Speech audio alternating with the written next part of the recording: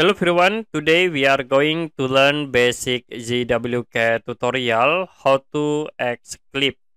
So for example, I will create rectangle and then create circle.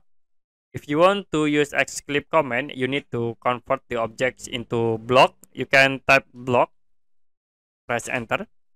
I will set the names into X-clip. For base point, click in here and then for entities, you can select all object.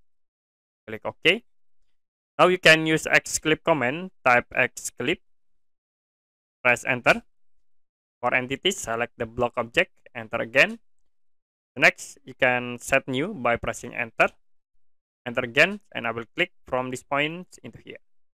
So it will be automatically X-clip the object. You can click this frame, and then you can click the arrow to show the bottom and then this is show to the top if you want to hide for X clip frame you can tap X clip frame press enter and then set into zero press enter so to be hide the X clip frame.